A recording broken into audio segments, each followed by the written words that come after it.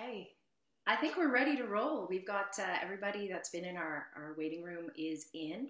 Um, so thanks so much, uh, everyone, for joining us today. Happy New Year uh, as we kick off 2021. Um, the purpose of these lunches is to bring folks together from the arts and entertainment and the hospitality industries to look at new ways of doing things in the times that we find ourselves in. And it's an opportunity for us to talk about things that have worked thus far, uh, ideas of new things, new opportunities, and uh, hopefully um, engage you all to think about what you might be able to do within your organization uh, as individual artists and connect you to other people for ideas on collaboration.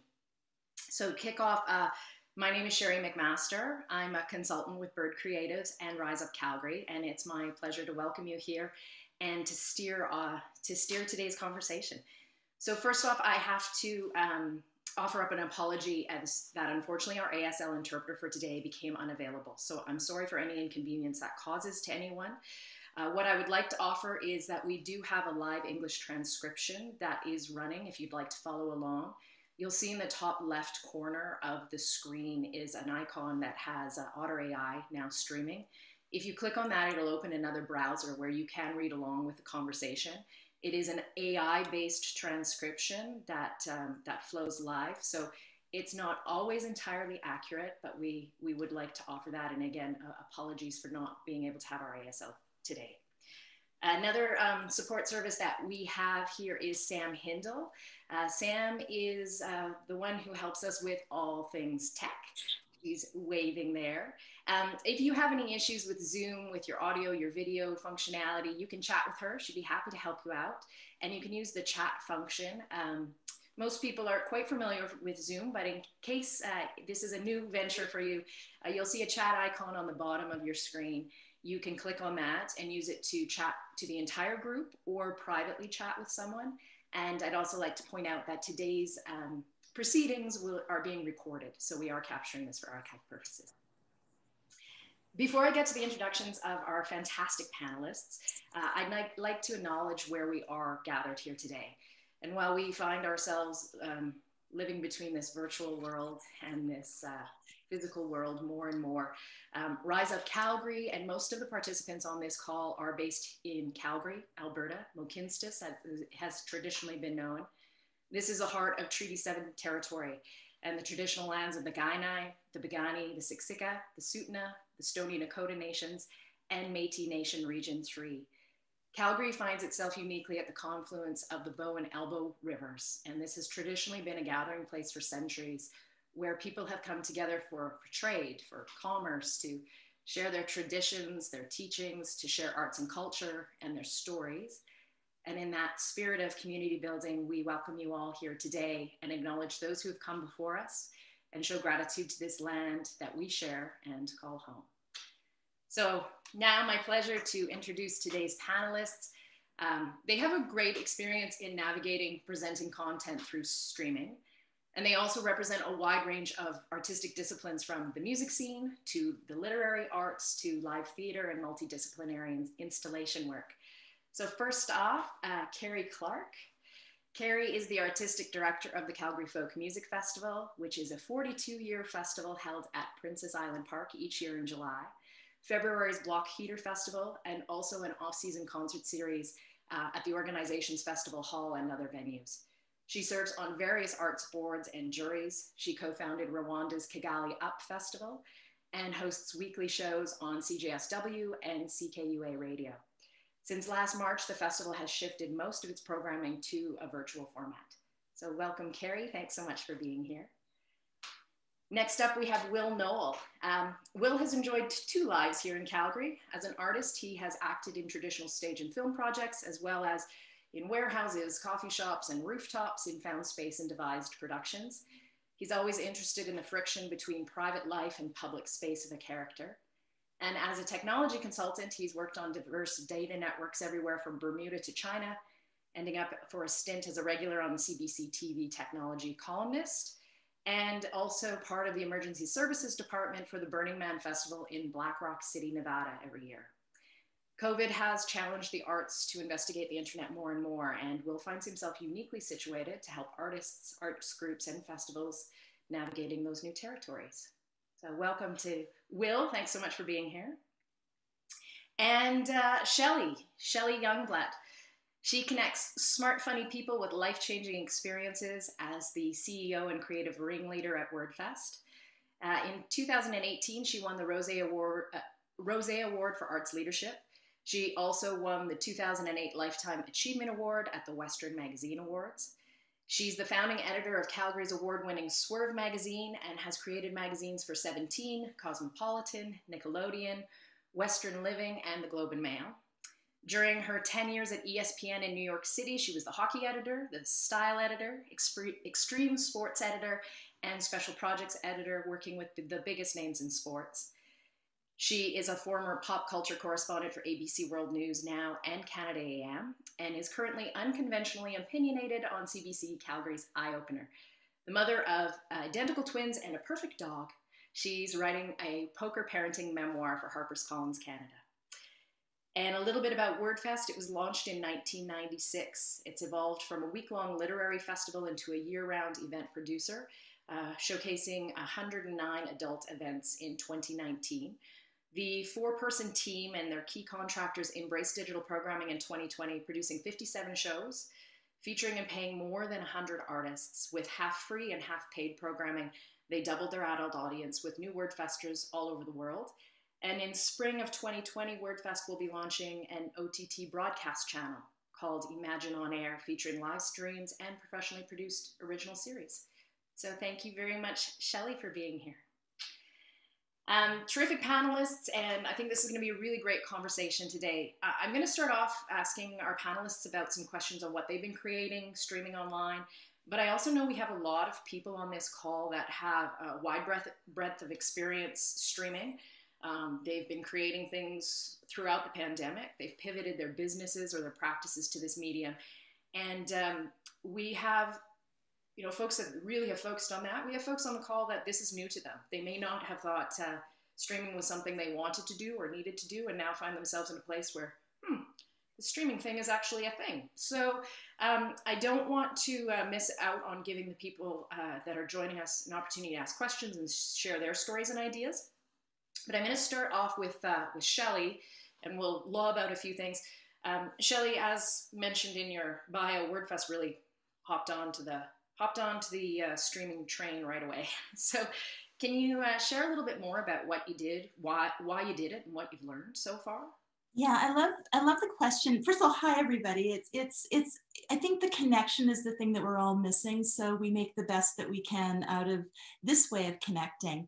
Um, we we we our art form is ideas and conversation. And so we knew that we had an opportunity here, that it would be something that would translate into a digital environment relatively easy. Unlike people who were more performing arts based, we just thought that there was a great opportunity. And it was something that we'd been thinking about previously.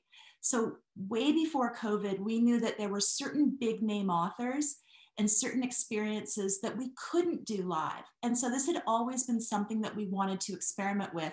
We just suddenly had nothing else to do except experiment in this one area. So we leapt into a series called the Online Happy Hour two weeks after the shutdown, and we just carried it on. Because again, it was very important to us to figure out how to connect with people, keep people connected, and also authors were available. And so we experimented every week. We grew our audience every week, but we treated it as something different from what we did live. That was, I think, more than anything else, the key is we see this as a show.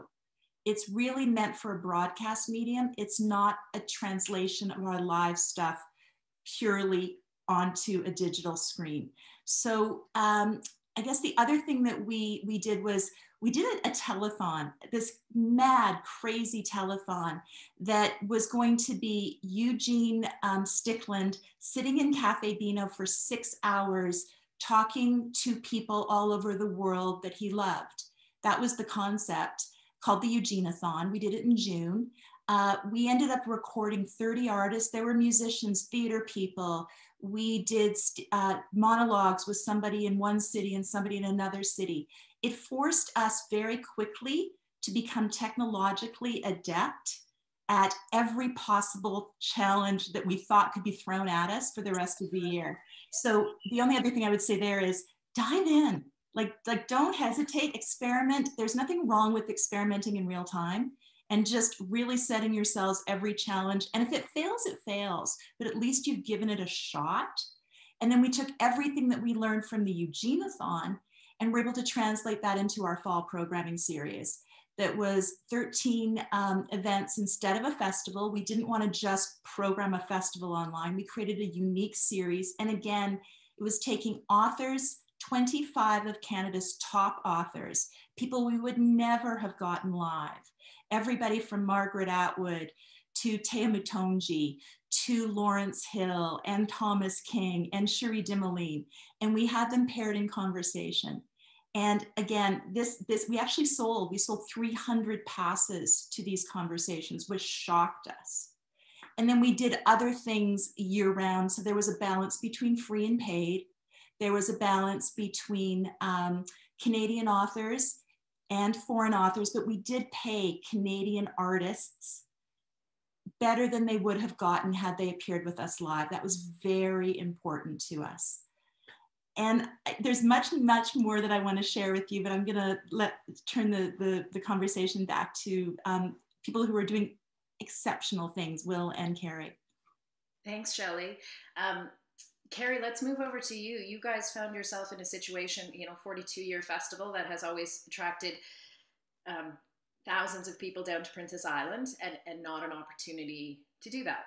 So um, can you tell us a little bit about uh, you know the the changes that you've made, how the Folk Festival has approached uh, streaming content and, and collaborations and partnerships with other authors and other presenters? Yeah, sure. I mean, uh, first was going to be our concert series in March. We had some things booked, and then, of course, the summer festival. So um, we initially did a few little things like sort of Instagram live little shows that were kind of fun. And then we were introduced to the side door, uh, side door, which is Dan Mangan's um, platform that he was actually using in a in a live sense where it was like you know if you want to put a concert on in your living room or in the uh, you know in any kind of unusual space and then it, it, helped provide you know the support and the ticketing. So they really use that word pivot that i hope we won't use much more because we're all having pivot fatigue. Uh, it's kind of a swear word at this point but um, they pivoted really quickly to doing online. And so initially we did our concert series which we called virtually live in uh, may and june um, through their platform. And you know, we we kind of took a page out of their book because the much as Zoom isn't perfect for sound and Im- images. Um, the really cool thing is it's interactive. So Dan Mangan, who was one of the people that started it, he was finding that he was doing concerts on a Saturday afternoon and getting nine, 950 people. Like he's probably making more money for some time than he would have touring. And same with, you know, some artists like Danny Michel, who's awesome and wonderful, but doesn't draw a lot, but he was making seven, eight grand on a show. Um, yeah, pivot fatigue, I have to credit to Sarah Leishman. So credit where credit's due. Um, anyway, so we we did the concert uh, series virtually live. So we had two artists on each one. And again, it's like Shelley said, sometimes it's an opportunity to have some some artists that you couldn't come to town. So we had a couple of Brazilian artists. We were able to, um, you know, at the festival, if any of you have come, you know having collaborations at the festival putting artists that don't know each other on stage together is is really really key to our format and our, the magic that's created. And so we for instance one of the first ones we had terra lightfoot who's from hamilton really fierce amazing artist and, and player. And we had her linked with a woman named josiara from brazil. So she was live like in the moment from um, from Sao Paulo, and the two of them now want to tour together. Like they, it was just so perfect. So we'd have, you know, we had an MC that kind of kept things all linked. So kind of like Shelley, like trying to do it like unexperienced but TV producers, where it's a show. And um, so these artists were live, and so the audience can interact with them. They can ask questions. The artists can um, change their set list up. It's got all the warts of a live show. So if you know if someone's sound isn't quite set, it's you know, it improves as you go. Um, but essentially, that was a really good format. And then we sort of because a lot of I find that a lot of the streaming that's done for music is all, is already pre is pre-recorded, and that's cool because sometimes it looks really good, but you don't have that audience interaction and you don't have the artists interacting with each other.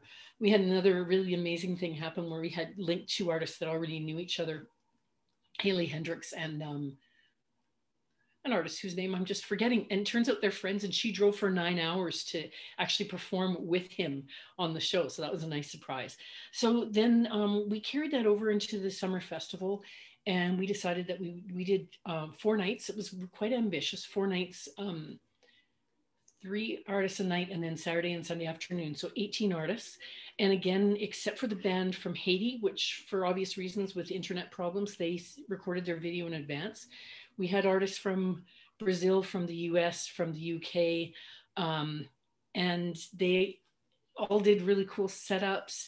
And we had a lot of people watching from Brazil, some people from the States who've never watched. We had, again, the Zoom format was really cool because um, families could be and families and friends could be in their backyard with picnics and and watching. And so we we had a really good amount of engagement because there were most often there were groups watching. And people would you know try and do like they do at the festival they'd have some some fun little markers and it, that was really cool. Um, not as good as doing a live festival but it was a reasonable facsimile. We also used that opportunity to stream some content that we'd taken at the festival in the past. So did make it like a TV show.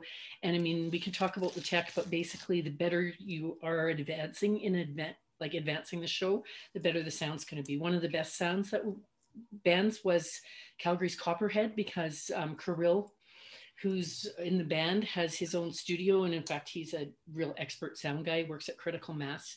And so that really helps. Um, uh, and yeah, we're, we're sort of keeping with that format. We then did CFMF at Pride and did the same kind of format. And we have Block Heater coming up, and we've just recently had to decide that we're fully digital so we're going to have two different streams, one um, maybe from Festival Hall if we're allowed to have performers without an audience, streamed out on YouTube and Facebook, and then the other one on Zoom. We've ex explored a lot of formats, but or, or, a lot of platforms. We just right now, Zoom is working for us for the interactivity. So right. it's kind of what we've done, and we've had some really good engagement, and we've even last year in in uh, 2000 in 2020 we hired 109 different artists as in acts. I don't like to say acts because as my friend Doug Simpson used to say, acts are for the circus, but um, that's 109 different groups. And so that's still, I think, still hiring a lot of people, um, putting some money in people's pockets, um, even though it's less money than we would have paid at the festival. And just to finish it off, we did have a paywall with Zoom and we did pay what you can. And we brought in a decent amount of money, which was, which was really good. Um, we, we made it work um, so that's kind of a, a, summary of what we've done so far. Thank, thanks very much, Kerry. Um, I, would like to jump off this idea of creating a live experience um, that, that Kerry's brought up, uh, Shelley's brought up as well. Um, wil that that realm of work in theater uh, and you know the live theater experience and how does how does that translate? I know I've read some articles. I believe um, you know Blake Brooker recently said there's already a format for that, and it's called TV. So, how yeah. you know you? Um, what I'd love to know a little bit more about is the project that you were working on, which is um, like Tom Cruise loves running, which was a yep. live theater production that was put on to um, streamed, uh, and what you guys were looking at, sort of experimenting with what makes a live performance engaging when you're still coming through a computer. Uh, specifically, the, the the main thing that um, we were, or that I was frustrated with, uh, was um, trying to when you had like say a theater group or a performing arts arts group that wanted to pivot to online, and the only sorry to uh, find new territory online, and the only way that they could do it, uh, or that we could do it was just to record something and play it back. But at that point, you know, we if you're going to record it and can it, and aren't going to be present and performing uh, when it's being streamed back, then you, you might as well edit, you might as well be making a, a presentational film.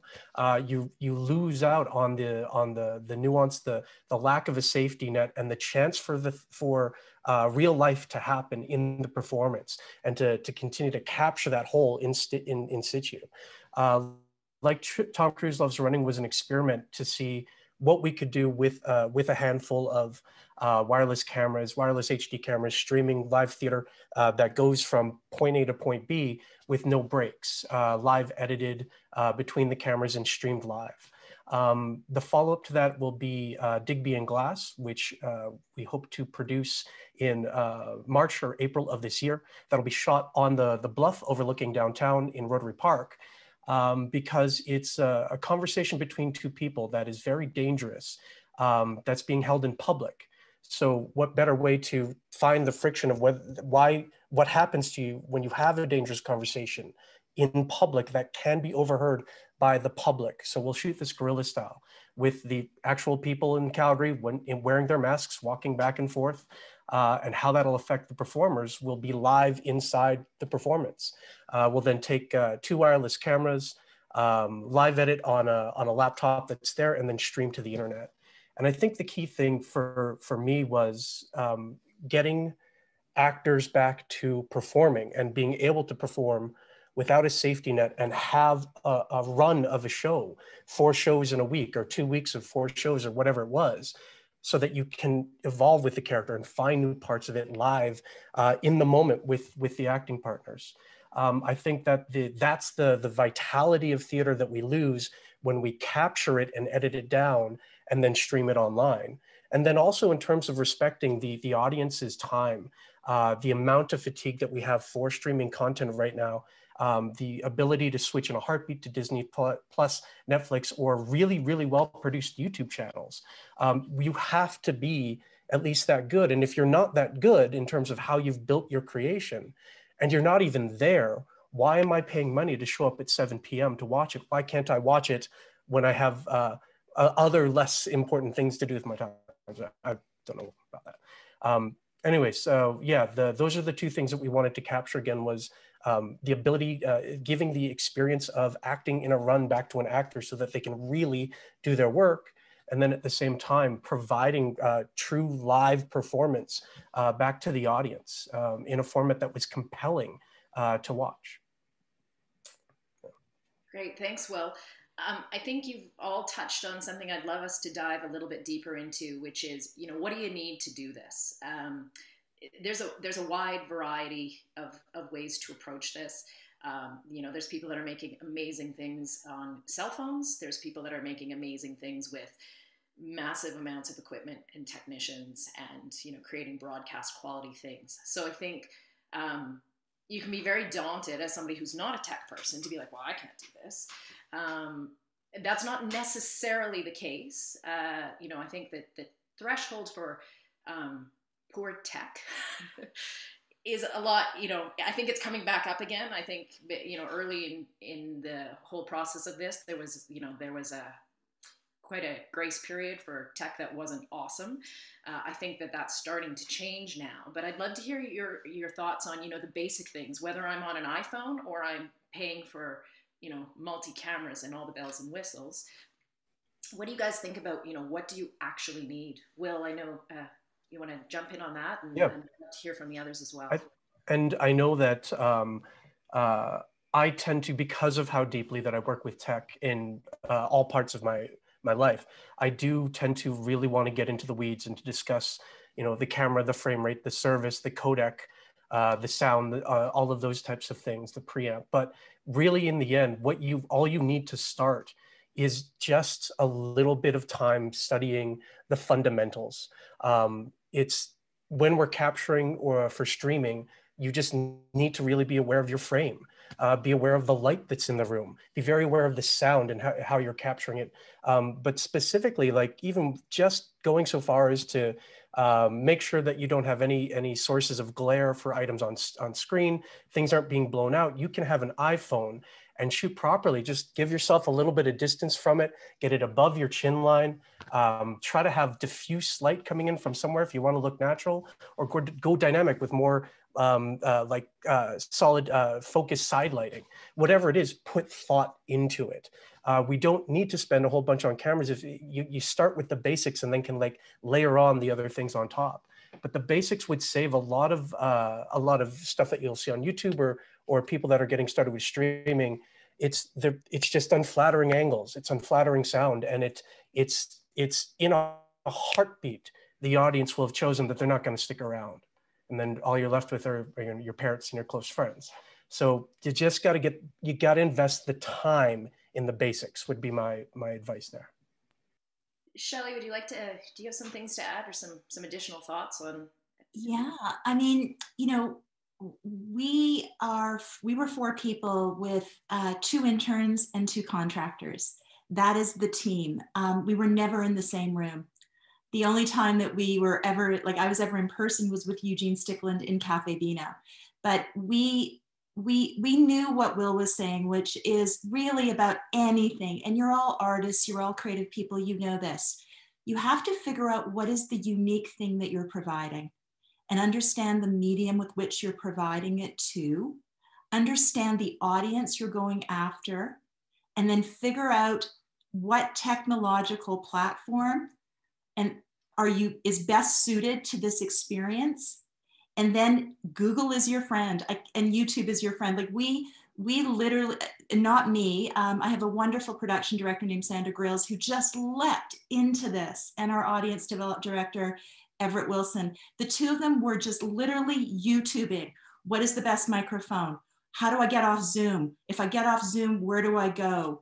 Um, how do you create um, the right just everything? They thought about everything and they were using google. And then we we left Zoom really quickly. We left after our second event, and we now do something in something called vMix, which is more of a professional broadcast tool, but it's still Sandra. We had to get a big ass computer. We have a mother of all computers that allows us to have good input and good output. And then Ethernet is your friend. You know, Google and Ethernet, they're the best duo you have. Everybody needs to be hardwired into a solid internet connection because you can do all of the wonderful things that Wil's talking about that are exceptionally necessary. But if your internet connection isn't solid, you're ho- hooped. And I think for Kerry and me, one of the challenges that we had was that we're working with outside artists. We can't control a studio environment the way that we would. Normally, all the tech that goes into a live show, we can't guarantee. So you've got, you know, Thomas King with no internet. You've got all of these challenges. And so one of the things that we did, which is a soft skill, was we do tech checks with every artist a week to two weeks in advance of their event. I mean, we set up Margaret Atwood's studio for all of her streaming. We showed her where the light should be. We showed her how her microphone should work. We would send people microphones. I have this really cheap mic that we got at London Drugs. Again, it's a hundred bucks. You all need one. Um, so so there's there's a lot of care and feeding that goes on in advance to try to um, circumvent the inevitable challenges of live streaming and, and so build in opportunities that you can do the best you can before you hit go. Uh, we have a green room. We have a virtual green room in vimeo where all the artists come in. They've already had their tech check. They've recorded some promo videos at that time. They've been able to ask any questions they have. They come into the green room. The host, who is usually me for reasons we can talk about later, because I think who your on air people are really important as a factor here. But we would have a chance to chat with them and give them a comfort level so they're not in a situation where it's like, Am I on? Is the camera going? And they just come into a cold. There was always this lovely transition in. And then we would join the green room after. Because what a horrible experience to have given everything you don't see your audience the way that you would in a live event. And you just want to have a little bit of time afterward to celebrate and just, you know, let it come out. So those are some tips. That's great. Thanks. Thanks, Shelley. Uh, Kerry, did you have anything you talked about advancing? You know, the better you advance your bands, um, coming from a music perspective. Um, you know any more thoughts you wanted to add about advancing bands or sound you know sound quality that you guys have learned not really much more than Wil and Shelley. We just um, because we're still in the old school of Zoom, we do have a um, we do have a guide that we send them that tells them how they can get their best sound and some information, and we do the sound checks like Shelley does. So so yeah nothing really just just having those conversations checking out in advance. I mean we are working with a crew in town. They're calling themselves photon and it's some some guys from the arts that are, are that are really good at this. They've worked with chaos calgary animated object society as well. So we've hired them and that helps. Um, and that helps if you're an organization, like they're not too expensive, but I, some people here might be individual artists trying to figure out how they do that. And, you know, just quickly, I've seen like there was an artist in Toronto they got really good at this. They figured, you know, they did the research, like Shelley says, and they figured out how to make the lighting really good. And then one of the guys in the band got a, a, cheap i forget what it's called but it's like a switcher. He can just hit it with his foot. So even in zoom he can highlight different members of the band and then he can switch to another scene. So there's simple things you can do even if you're not tech savvy. Um, and we've basically learned like our production manager john has had to figure out how to advance shows for this when he spent his whole career doing live so it is those conversations and research and um, doesn't have to be too complex, but it just does depend where you're trying to broadcast in your audience. And and if you're just if you're an individual artist, then maybe you do want to look at something like Side Door that has the infrastructure, and they do have tips and tricks about how get to get the sound good, and they can help. They can do ticket sales and things like that. If you're just if you don't have an organization behind you. Great. Thank, thanks, Wil. Or thanks, Kerry. Sorry, I got totally distracted by Wil's cat. Thank you very much, Kerry. Um, let's uh, let's go back to this idea of moderating and hosting and and curating, if you will. Um, I, would love to hear you know some thoughts about that. You know who you have as your on-screen person, or how you um, different skills that you guys have learned uh, that you need if you're going to run this to, to choose the best people to help um, put this together. Shelley, do you have some more, you know, some more thoughts on that? Yeah, it and it it like I think 2020 was a real year of experimentation where nobody knew anything. I mean, our our sole goal was to be as good as Saturday Night Live at home. That's all we cared about to begin with, and and so you know, don't we're all learning all of this as we go. And one of the things that we learned really early, because we got Zoom bombed in our second live event and I wasn't hosting, um, it was horrible. The, the, the host didn't know and the author didn't know, the team knew. And we just realized there were so many technological things that could happen that were beyond the host's ability to solve that it was actually unfair to put someone who might be a fantastic live host um, into a broadcast environment.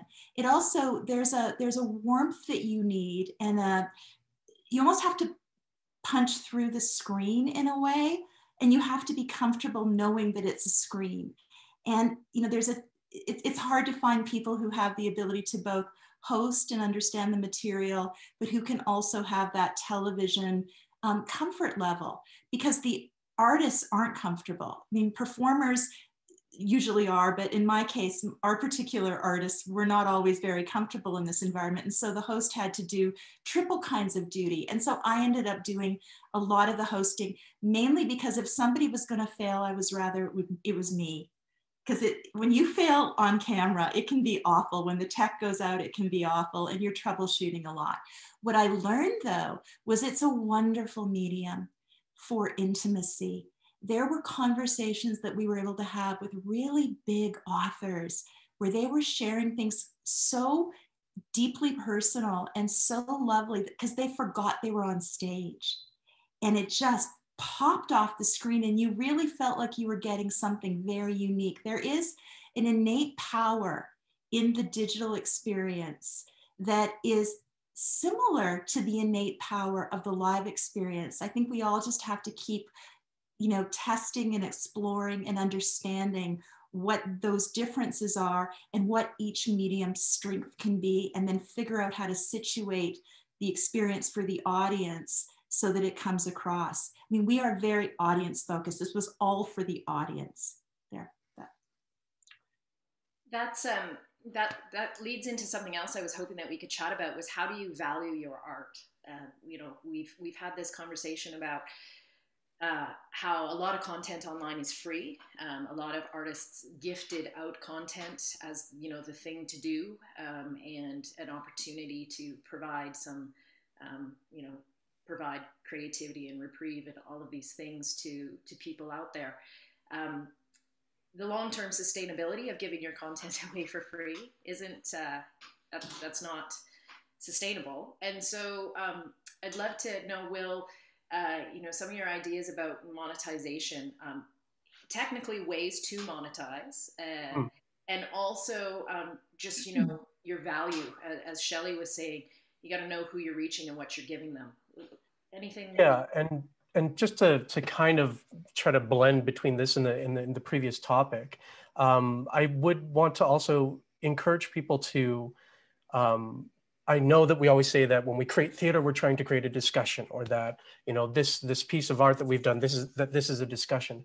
But just because the, that it, at its core there's a discussion in the art, doesn't necessarily mean that there always needs to be a chat happening beside it. Um, I think that as as you as we all figure out what we are uh, attempting to present and to stream online, that we can know that not having a chat feature enabled is okay and then maybe that's something that you move into um, like a, a, Zoom chat afterwards, uh, or just something that you you choose not to do. It's it's how you present it. It's the the the the, the tops and tails where you get to say this is how we're going to package it, and maybe you don't need to have uh, a conversation in there because you're you're open to uh, the face to face or the um, the follow up on, on social media or something like that afterwards. I just know that there's too often I find that there'll be certain um, uh, streams that go up that have this this uh, this unoccupied uh, chat room where there's one or two people that are trying to keep it alive, but the rest of us are just trying to to watch um, what's happening uh, on the screen. Then at the same time, there's definitely some art that was required to that. Uh, uh, Scott was talking about Lonely Boy that they produced years ago, and that was uh, direct where the the artist that was was presenting was or the artist that was performing was live with you in the chat. And that and it's it's that's so much more now an example of what the true streamers are doing. Mm-hmm. so many of the problems around how monetize, monetization works uh, have been solved for online streaming communities uh, traditionally around video games but also now in a whole lot of other things for live painting live music um, all of those types of things um, choosing when when you have chat enabled and when you want to if you have chat enabled you have to participate in it. You can't let it sit there off on the side. It has to be i believe it needs to be core to, to what you're doing. And if it's not turn it off. Um, as for uh, monetization as i was saying that um, live streamers uh, or lifestyle streamers uh, do have the ability to, uh, or most of their systems say uh, you've got uh, YouTube's um, super chat, uh, Twitch's bits uh, and subscriptions. there's in platform means for people to essentially tip you out and that those tip outs can can you know accumulate over time on top of monetization with say ads or something like that if you wanted to. Uh, that works if your form is cool or uh, involves being active and, and, and, chatting with the audience. Uh, I see, I've watched a lot of live painters that will chat with their audience while they're doing their creation. And then, you know, a super chat comes in, that's a $10 tip. And then they, they read out the message and engage with, a, uh, with that person a little bit. That may not work, work well for, say, a live show where it's presentational, more like theater, uh, where we don't want to be, you know, pausing every little bit to, to read what's coming in off of to, off the side. At that point, then maybe you do want to look into using a platform like say Vimeo on the, the low end or VMAX, uh, like Shelley, you were talking about uh, on the higher end, which has monetization features already built into it in terms of ticketing, um, re, uh, passes for festivals, if you were going to do something like that, um, or for video on demand after the live stream. Um, I, my encouragement here is to try not to reinvent the wheel because there was money to be made in this space. A whole lot of people have come up with a myriad of ways uh, to resolve this issue for you. So again, just taking a little bit of time uh, on Google and uh, engaging with other members of the streaming community to find out how they're doing it, how they're monetizing it, and having conversations with them. Uh, traditionally, video gamers are the first people I ask about how does stuff happen online because they're the ones that have been really driving uh, online streaming communities for a long time. Great, thanks, Wil. Um, you know, speaking about the chat and also engaging with your groups, there, there's a lot going on in our chat on the side. I don't, I don't want to gloss over that as well. Um, thanks to everybody that's sharing resources and, and contact information. We've got uh, some stuff going on here about um, Pat McGannon has said that they've used Twitch TV for live streams, uh, worked with um, Josh at FM Systems who's handled video and sound. So talking about uh, utilizing local companies and, and, mixing in with other platforms as well. Um, Kerry's put her information in here about Photon. Um, Car- uh, Carlos has been talking about um, the uh, live experience by performing quite literally live and using multi cameras and angles and, and these kinds of things to put together um, a full production. Um, and uh, Josh uh, Burnett, who is on the call, uh, is talking as well. There's there's a lot of people here that that this is what they're doing. This is either their business or they've just launched right in. So I'd love, you know, if anyone has any specific questions or um, things, uh, Alex has put in here. Rocket House is another local organization to connect with for live production and streaming. Um, and Sam's pointed out we can save, you are able to save this chat for these. So um, anybody that's on the call that that wants to jump in, uh, whether that be something, um, if you want to type it into the chat, if you want to use the raise your hand function, um, and uh, I will watch for that and come on screen and ask your question or tell your story of, of what's worked or not worked uh, for you. You know, happy to hear from from others as well.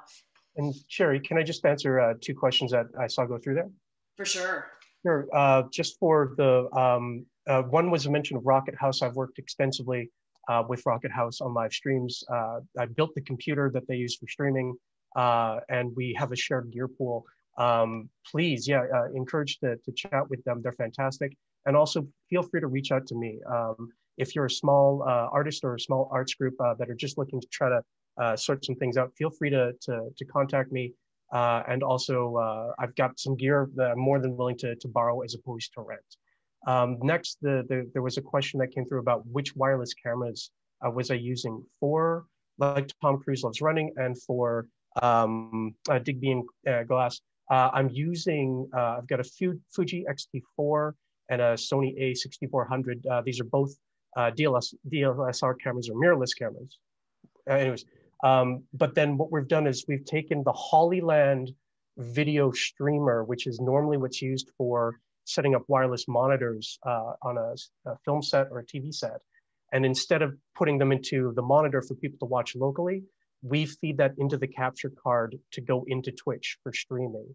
Um, so we're just kind of like, we're just taking an existing solution and then uh, bolting it onto the cameras that we have. Um, I'll try not to talk too much about technical stuff because we have a Rise Up coming next week where we'll be able to do deep dives about that. Yeah. Uh, or in two weeks. Yeah. Yes. Spoiler alert from Wil, but yes. Awesome. Thanks, Wil. Yeah. Uh, Shelley? And I just want to really quickly talk a little bit about monetization because you know that is that is part of the goal. Um, we at WordFest primarily do paid events live. And the reason is we can guarantee an audience. If you've paid $10, you're going to show up. If you've paid $25, you're going to show up. So we were getting 90% attendance, if not 100%, at any of our events. We couldn't do that uh, digitally. We knew that. And so it was our first chance to see what would it take to hold an audience in a free event and what would it do to that attendance rate and the engagement level. So I've got some stats for you, which is that we were getting everybody registers. That was the one level of commitment we asked. And it was partially so that we could communicate with you. We don't communicate in a marketing way. We actually send you something we call the digital doggy bag which was a post event recap of the things the conversation, places the conversation went, so that you wouldn't have to take notes, that you could get all the links and all the goodies. So it was our gift back. That was what, so it wasn't like it, that was why we thought people would want to register. And then we could also answer any of your box office or tech questions. So basically, um, free events, about 30 of them people registered between 100 and 500 people for the registration. We got our Calgary audience, but we also were getting people from all over the world. Very important. Then we were getting about 60% watching live, but then they could watch on demand. And we kept track of the watch on demand. So the views, the views were sometimes 10 times the live watches. And there were people that just were really sticky certain conversations that were super sticky. And that was exciting to us. So that gave us the idea that we could, in fact, maybe start to think about a channel, which is where we're going next, an OTT channel. Then we decided that we would do our festival, which was the festival series 25 at 25, $99 for a pass. Again, 300 sold. We had budgeted for 100. We had no expectation this would actually work. We also gave away to anyone who needed a free pass. We never made accessibility a barrier to entry. So that was also really important. And that was clearly communicated that those who bought passes made it possible for those who couldn't. Then what we did was we had book and ticket opportunities with publishers where it was a 35 to $40 entry point where you got a signed book. And we were getting 300 to 500 people registering for those. So that, that gave us a lot of data around engagement. People were watching between 40 and 50 minutes of every show we streamed. Again, that was way higher than I thought. We'd get them for five minutes and we'd lose them after 10. No, they were sticking with it. So there's there's there's data, and I'm happy to talk a little bit further about what we learned about the data. We're still packaging it. We're going to be launching an OTT channel in the spring. We're going to be looking at a $26 yearly subscription as your entry point, where you can watch original shows that we are producing. Some will be free live streaming, but if you want to watch them on demand, you have to have the subscription. We're just really trying to walk between that balance of audience building, content building, and then engagement building, and then revenue. Because you can't do one ahead of the other. But that's kind of where our journey's at. And we know that there is engagement. We know that if you put out a good product, people will come back. We know that it will cross borders. We know that we as Calgarians have the ability to reach people all over the world, like Kerry was talking about. That is very exciting for this city right now, I think. How it all adds up, I don't know. Thanks, Shelley. Um, a question that's come up on the chat uh, in regards to to monetization. Um, you know, Shelley, you were talking about subscriptions and and pay to play opportunities. Uh, Jason has asked here, curious about monetizing for charities. Uh, is there anything like, um, uh, I believe it's Patreon for charitable organizations? Um, Kerry, I know you talked about you had some opportunities built in for artists to have tip jars and that kind of thing. Does any anyone know anything specifically about uh, monetizing for charities that they'd like to help Jason out with? And that could be anybody that's on this call, not necessarily just our panelists. I mean, we're all uh, kerry, we're, we're nonprofits, we're arts nonprofits. And so we are charities. Um, we do have charitable campaigns. We're doing one right now that will enable us to fund this kind of innovation, but it's separate from the event. It's it's in the when we send the digital doggy bag afterward. There's always a link that if you want to support us outside of your subscription, here's the opportunity.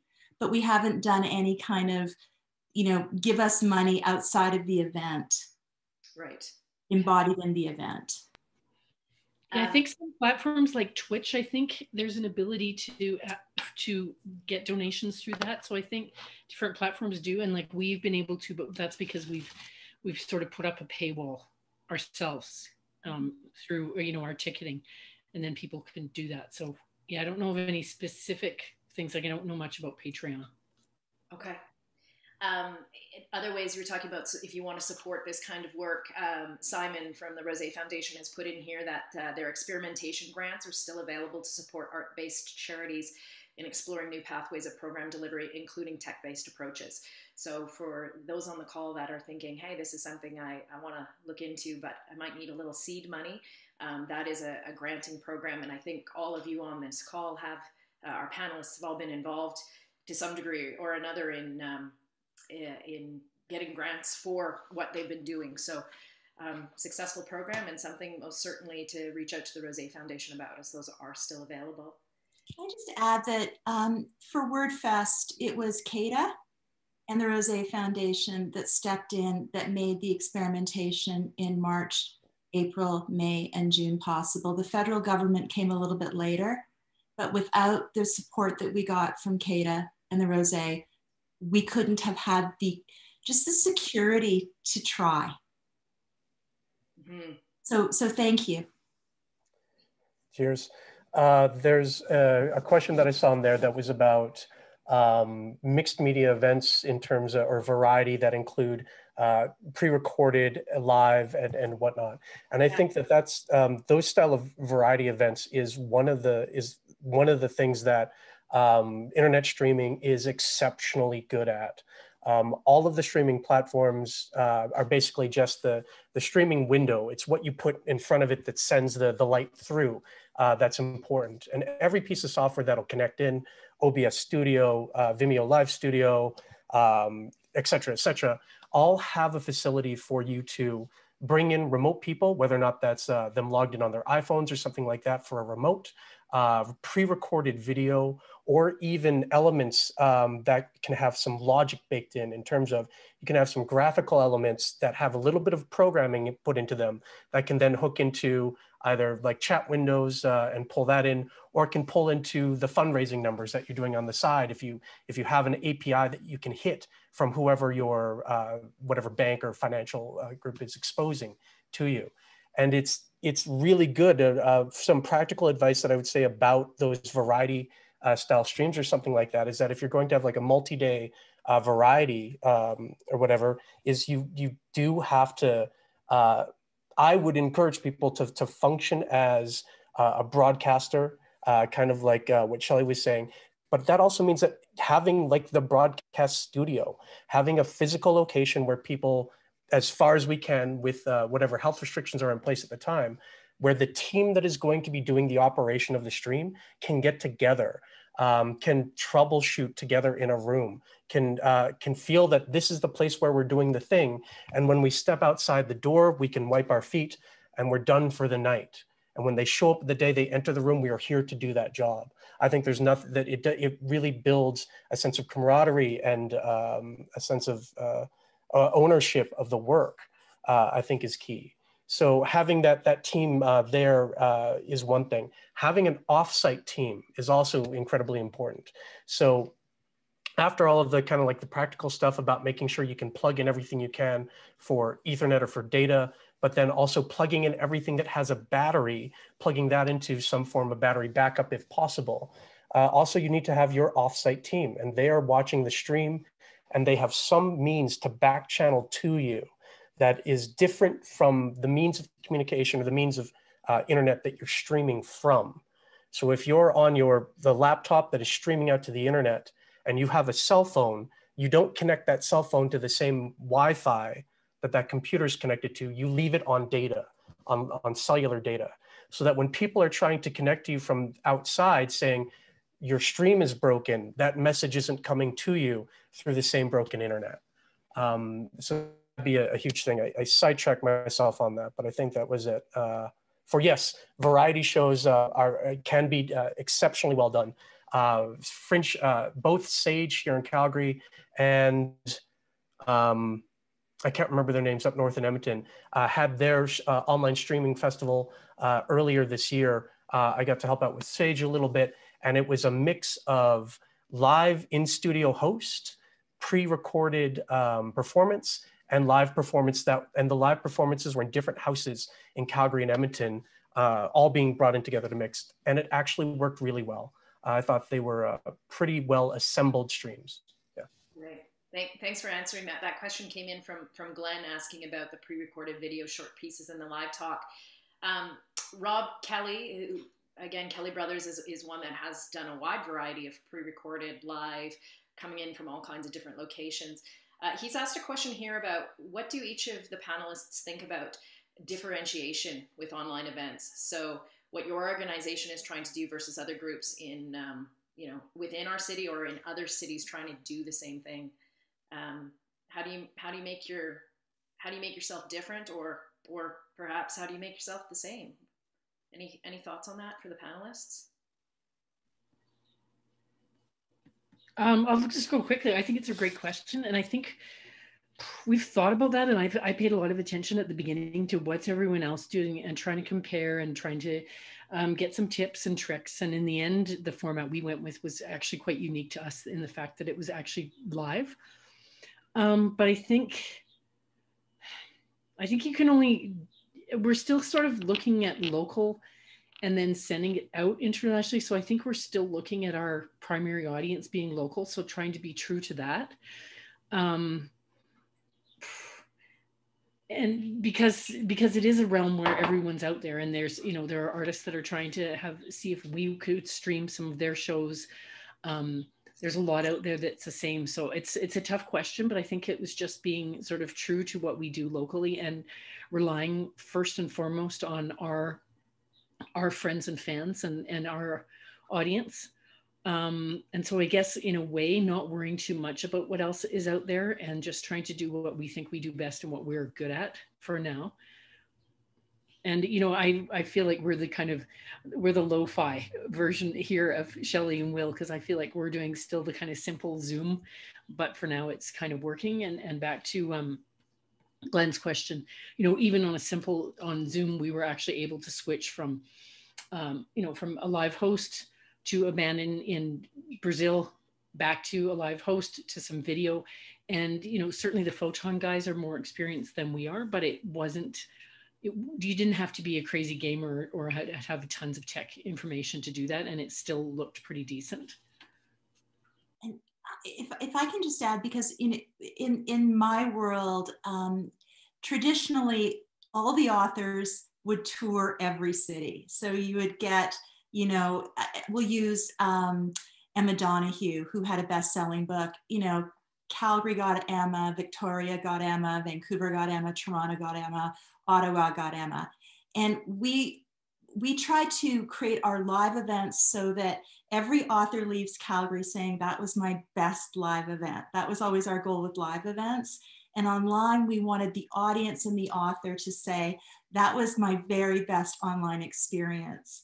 And so you also all of you curate your own experiences you that's why you're doing it why not somebody else it's because you have a vision and you have a way that you think will connect to your audience specifically. And so just own your own vision and then use the online platform as another way to express that. So WordFest events are not the same as what you're going to see coming out of Vancouver or Toronto by design. And that, that's what's great is that now we have access to a lot of different interpretations. And then the audience will choose.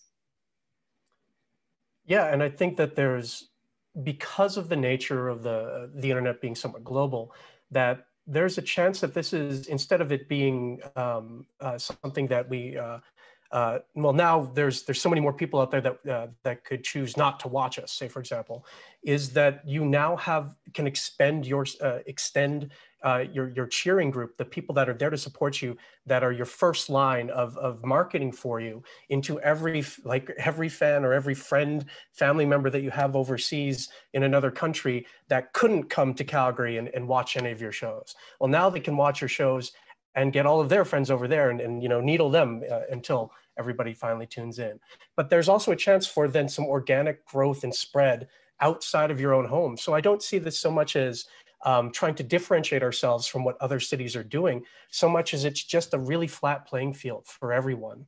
Um, and to mirror what every uh, the the other two panelists have said that yeah it's it's is you can identify what you're doing well and why you want to do this the specific reason why you want to do this should be the the the thing that is why people will come to watch you do it and nobody else um, of all the people that I follow on YouTube that restore old computer hardware, there's a specific reason that I go to the ones that I do. And it's not the city that they're in, it's the heart that they have for it. Um, uh, and uh, lastly, I guess off of that, um, oh, I just talked myself right around it. Um, yes, uh, you doing the that no, I can't put it together. Come back to me. Yeah. Okay, we'll, lost it. We'll circle around. We'll let you gather that. Uh, Josh Burnett has put up his hand here. Josh, do you have something you want to add in there? Oh, we've got you muted. If you could. Sorry, yeah, the, the audio guy can't unmute his microphone. That's embarrassing. um, firstly, I just thanks thanks to our our panel uh, and Wil, uh, all of the technical considerations, even some of those really simple things that people don't think of when they're just starting that can make a huge impact for for no investment you know just looking at lighting and framing. Um, thanks for sharing all that. And and to kelly and shelley just or kerry and shelley my apologies kerry. Um, very cool to find different ways to connect and interact and bringing the artists together especially over uh, over great distances, having artists come from other parts of the world. Uh, really awesome creativity. I've got a tough question for you though. What do you feel will be the long term sustainability of what we're doing in our online platforms? I mean, we know that they're engaging, they're a way to stay connected with our people. It makes us feel really great and it's it's helping our artists and our communities connect. But in terms of when we need to pay these artists, when we need to pay um, the folks hosting, how how long-term sustainable can we build this? And do you see this as a, a stopgap until we're able to bring artists together, or do you feel like there's a way for us to actually change the way our industry works and the way that that we're approaching it? Great, great question, Josh. Um, Shelley, you're you're nodding. Yeah. Oh yeah, that, that, that that's the question that we've been asking ourselves from day one. And at the end of the day, and, and thank you for everything that you just said. Um, quality will out. Quality always outs. And we are committed to having this be half of what we do. We can do live experiences, and we think with our medium and what we can bring to and not you know we, we think that we can do something that's valuable that will have resonance. And that's why we're investing so heavily into the ott channel and you know really leaping into production and conceptualizing new ways of presenting ideas. Um, and i can there's a lot of really big ideas that we have. I don't know if we'll pull them off but we're going to try because we think for our specific opportunity it is a long term thing if we pull it off appropriately and we're right. Yeah, to, to, to follow along, um, it's kind of like how uh, almost any business right now that has a, a massive lease on an empty office space uh, is, is going to look at how they deal with their offices going forward. And that's that we're, that we'll want to be in the office, but we're also not going to let go of the fact that we can now work from home. And I think it's always going to be a blend. We're going to find that more live events in the future will happen in person, but we're always going to make arrangements for accessibility for people who couldn't be there because now we know we can. And now we know we're competent at it, or most of us, or a lot of us are competent at it. And then, so that a lot of barriers for access for some of these events are going to go away. And we're going to be able to share them more and get a wider audience. Does that cheapen the live event, uh, the live experience? Well, I guess that'll be up to the people that are, to everybody building our own thing to try to figure out what is the value proposition on either side of the stream. Why would you want to see it live versus why is it okay to check it out from at home or maybe pr prefer that? Um, and just to kind of uh, tag on to the end of that, um, the the thing about the, the the previous question about us differentiating ourselves um, from other communities uh, as we're now on the internet with everybody else is that echoing the statements about quality wins out. Um, with the work that I'm doing, that uh, with where we're trying to stream live performances, if we're and live editing a movie, doing that uh, all at the same time, I want to see people around the world attempting to do the same thing, because when everybody starts doing the gimmick, then the what rises or surfaces out of that is the quality, the acumen, and, and the, the and the artistry. We all can do the gimmick well once we figure out how to do it properly. But then once we all do the gimmick, then it exposes the real art. So um, has seeing other people do the same thing that I want to do in other cities actually means that we're on we're heading in the right direction to really see the art. Great, thanks, Wil.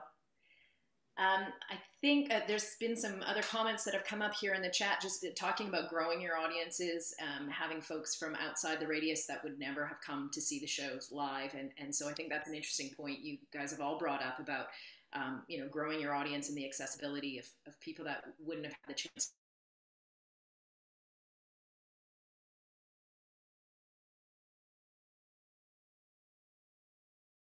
Create a sense of connection with and between audiences as professional platforms that are more focused on production and may lose some of the connection pieces.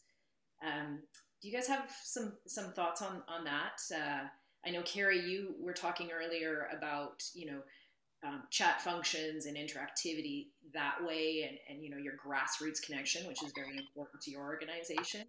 Um, you know, right now you are still on a Zoom platform. Uh, are there you know thoughts about going to something a little more um, for lack of a better term, you know, slick production? And, and, have you guys thought at all about losing some of those connection pieces, or, or what you might be able to do to counter that?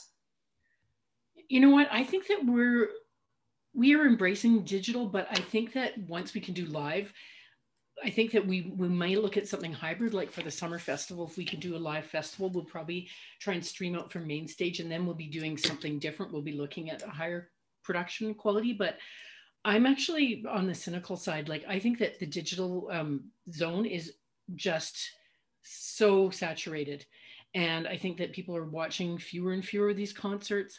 I know me as a producer of music events, I hardly watch any. And I mean, there have been some great ones produced by colleagues, but I just don't have the patience for it right now. So, I mean, for me, I think that we'll, if we are looking at less audience connection it'll be once we can go live and then we'll say this is sort of the icing on the cake of this live performance that we can actually use the technology and stream it out so that if someone can't go in the summer or we can actually expand our reach so we'll hang on to some of it but it'll be more supporting the live as opposed to replacing it um, and yeah and so i think for now that's partly why we've kept the the lower fi kind of thing, but with the audience interaction, because that's what we still are, are looking for. That's great. Thank, thanks for that, Kerry. Um, you know, interesting to see multi, like, yeah, multiple opinions on the longevity of it, uh, what it serves to your organization or, or your artistic practice. Um, Shelley, I know that that connection piece has been really important to you guys. Uh, do you have any, you know, any further things to add to, to Mike's question about, you know, you've moved into something fairly slick uh, for, you know. Well, it's it's MacGyvered. Like I just want everybody to know we do like if we're good at anything, it's MacGyvering. So just keep that in mind. Um, the, so when you go to an author event, it's one of the few um, artistic live experiences where you are pretty much guaranteed to have an interaction with that artist. So the signing line. And that is something that we cannot recreate. And so instead of trying to do what we can't do, we've just said that is something that is so unique to the live experience that when we get back to the live experience, it will be there. We're not trying to, you know, meld, meld the two worlds. We're trying to really look at each opportunity differently and then accentuate what we can. What we did discover in terms of accessibility is we had a lot of people who are agoraphobic, like I'm kind of agoraphobic, who just didn't want to go out but who wanted the experience and they suddenly were part of our audience. We uh, closed captioned everything. Those people were suddenly now part of the audience in a way that they couldn't be. And so it did give you a, a lot of different ways of broadening people even if they just lived down the street they just didn't want to go to memorial uh, you know to the library and park uh, but as far as the audience concerned one interesting thing happened which was that we have a lot of like hardcore wordfesters. There are there are pass holders. They'll go to 60 events a year. They form their own Zoom chats, completely independent of us, where they would get together for coffee the next day to talk about the ideas and the experience. And so, in some ways, we're organically listening to what they're already doing and then trying to figure out if we can create a digital space for them, not force them into it, but literally supplement and complement what they're already doing and what they already want. That's the area that we're looking at right now is can we create these forum rooms that are just, we just put some pillows in for them or, you know, a bar and because they want it, they're already there. How can we enhance that?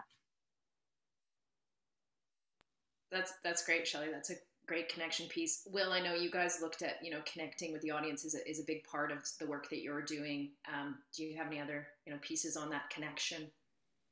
Um, I mean,